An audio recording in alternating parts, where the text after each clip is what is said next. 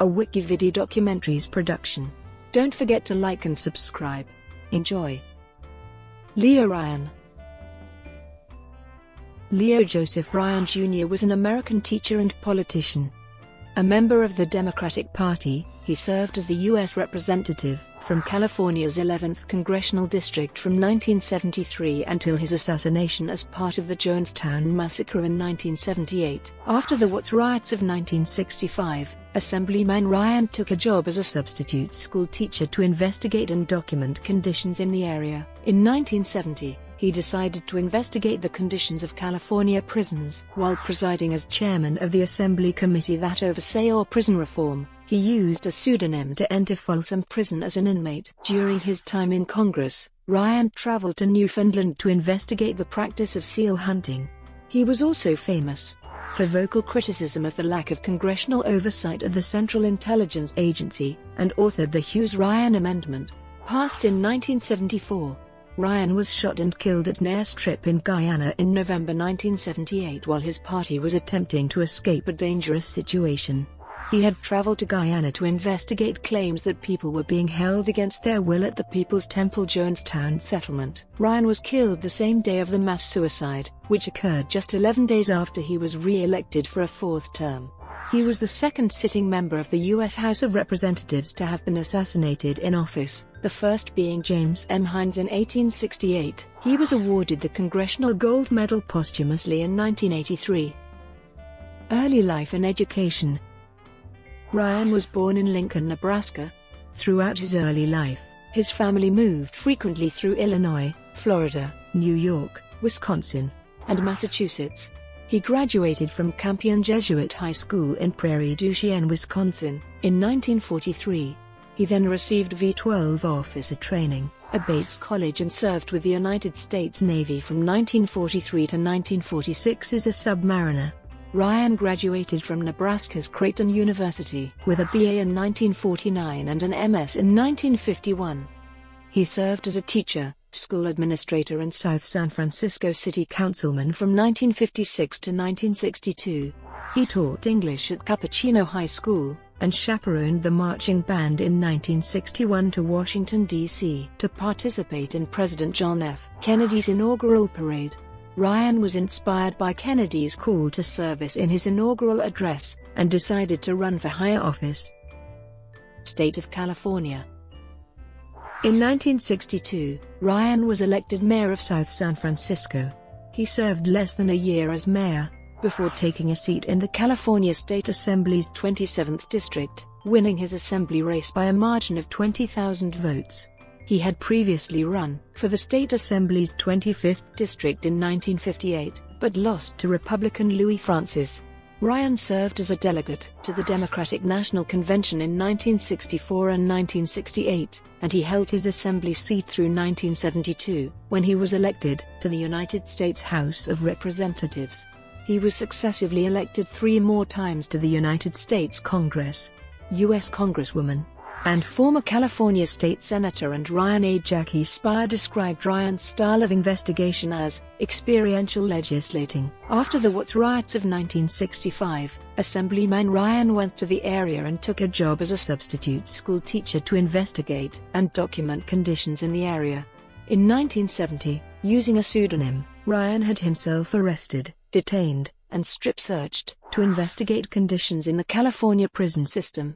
He stayed as an inmate for 10 days in the Folsom prison, while presiding as chairman on the Assembly Committee that oversaw prison reform.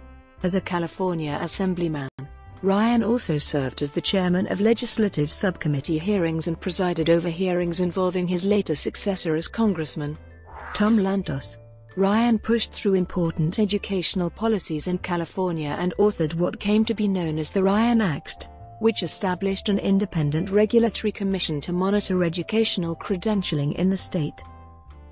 United States Congress During his time in Congress, Ryan went to Newfoundland with James Jeffords to investigate the inhumane killing of seals, and he was famous for vocal criticism of the lack of congressional oversight of the Central Intelligence Agency, authoring the Hughes-Ryan Amendment, which would have required extensive CIA notification of Congress about planned covert operations. Congressman Ryan once told Dick Cheney that leaking a state secret was an appropriate way for a member of Congress to block an ill-conceived operation. Ryan supported Patricia Hearst, and along with Senator S.I. Hayakawa, delivered Hearst's application for a presidential commutation to the pardon attorney. People's Temple In 1978, reports regarding widespread abuse and human rights violations in Jonestown among the People's Temple, led by cult leader Jim Jones, began to filter out of the organization's Guyana enclaves. Ryan was friends with the father of former Temple member Bob Houston, whose mutilated body was found near train tracks on October 5, 1976, three days after a taped telephone conversation with Houston's ex-wife in which leaving the temple was discussed. Ryan's interest was further aroused by the custody battle between the leader of a concerned relatives group, Timothy Stoen, and Jones following a congressional white paper written by Stoen detailing the events. Ryan was one of 91 congressmen to write Guyanese Prime Minister Forbes Burnham on Stoen's behalf. Later, after reading an article in the San Francisco Examiner, Ryan declared his intention to go to Jonestown, an agricultural commune in Guyana, where Jim Jones and roughly 1,000 Temple members resided. Ryan's choice was also influenced both by the Concerned Relatives group, which consisted primarily of Californians, as were most Temple members, and by his own characteristic distaste for social injustice.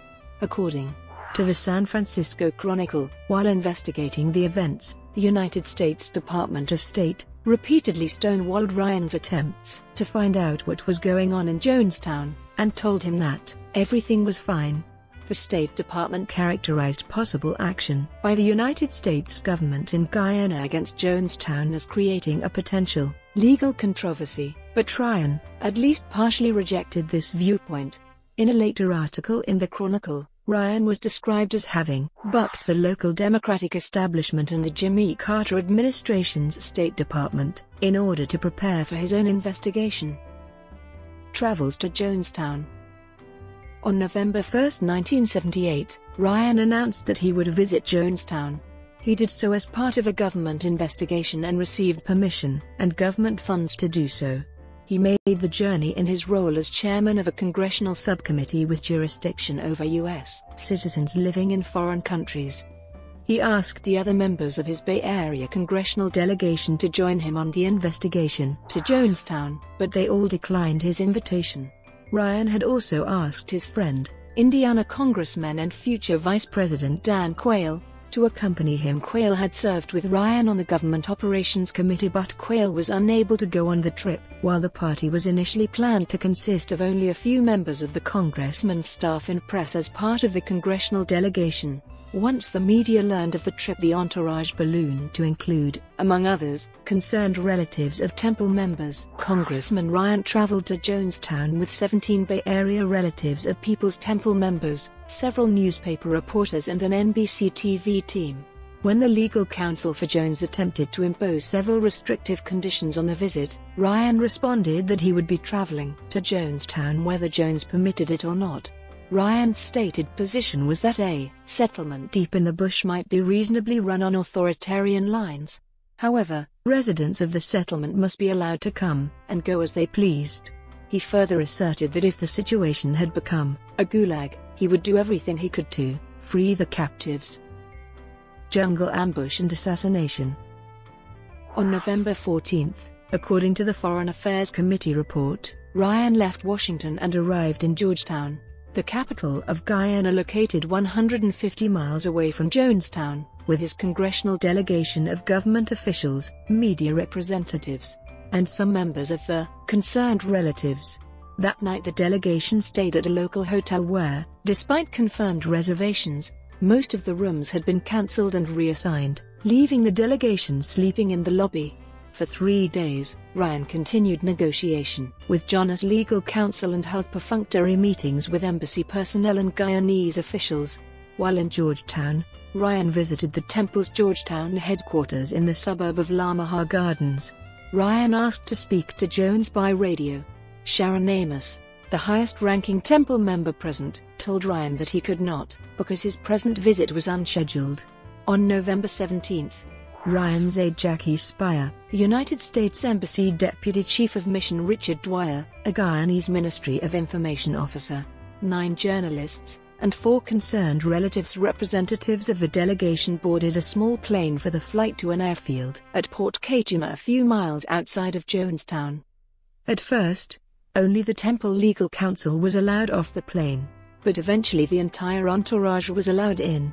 Initially, the welcome at Jonestown was warm, but Temple member Vernon Gosney handed a note to NBC correspondent Don Harris which stated, Please help me get out of Jonestown, listing himself and Temple member Monica Bagby. That night, the media and the delegation were returned to the airfield for accommodations following Jones's refusal to allow them to stay the night. The rest of the group remained. The next morning, Ryan, Speier, and Dwyer all continued their interviews, and in the morning met a woman who secretly expressed her wish to leave Jonestown with her family and another family.